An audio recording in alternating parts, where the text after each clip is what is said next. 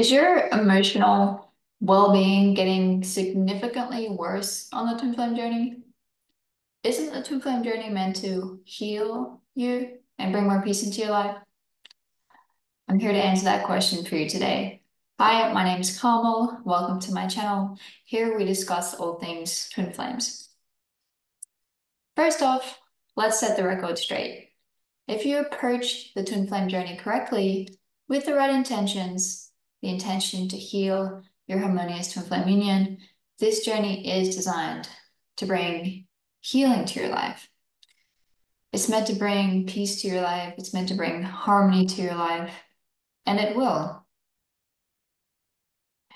And if done right, it will permanently heal any sense of separation between you and your twin flame. Now let's talk about the process. The twin flame journey is a spiritually transformative path. A big part of it involves in facing your deepest fears and facing your fears around love and healing them.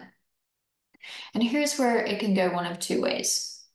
First, the way I highly recommend is using your twin flame as a perfect divine mirror that they are. They're not just your perfect lover partner, and best friend. They're also your greatest teacher and complement.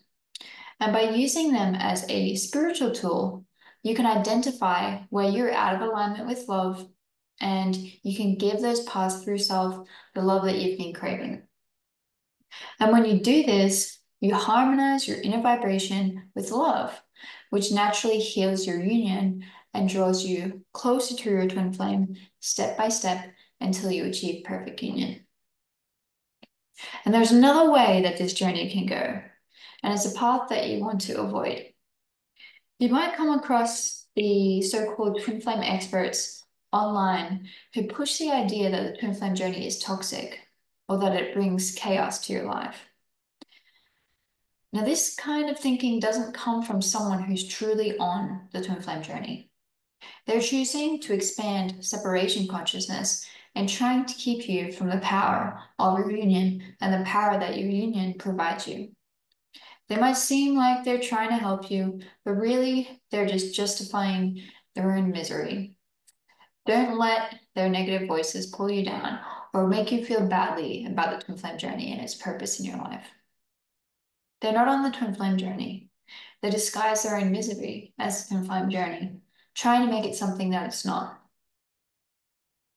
Finally, there's a third scenario that you need to be aware of. And maybe you're genuinely committed to using the twin flame journey for healing, but you find yourself stuck ruminating on upset longer than necessary, or letting it be an excuse to complain or let your life get out of balance.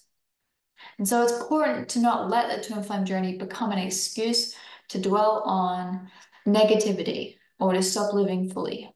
Remember that the twin flame journey isn't separate from your life. It is your life. And as you love yourself more and more, your life and union will naturally improve. So to sum it all up, to bring it all together, yes, the twin flame journey is for your healing, but only if you approach it correctly. And the twin flame journey is not toxic. The intentions behind it and what you use it for is what's going to make the change in your life.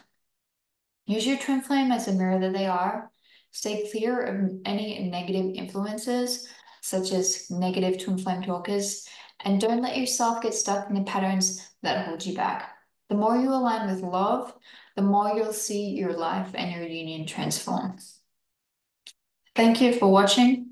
If you found this video helpful, don't forget to thumbs up, subscribe for more insights on the twin flame journey.